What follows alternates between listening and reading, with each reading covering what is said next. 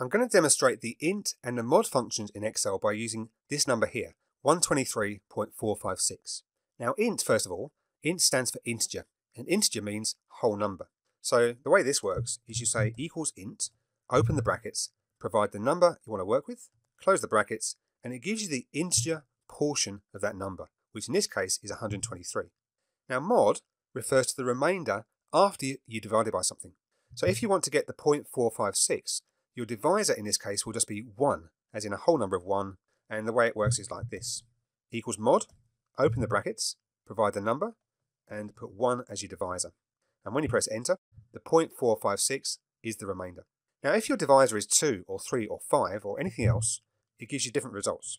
So let's say we do a mod on the same number, but our divisor this time is 2. Now when you press enter, your remainder is 1.456 because the closest number to 123.456 that divides exactly by 2 is 122. So once that's taken into account, what's left over is 1.456. Let's do the same for a divisor of 3. So we say equals mod, open the brackets, provide the number, and say 3 as our divisor. So what's left over there, again, is 0.456. So 123 divides exactly by 3.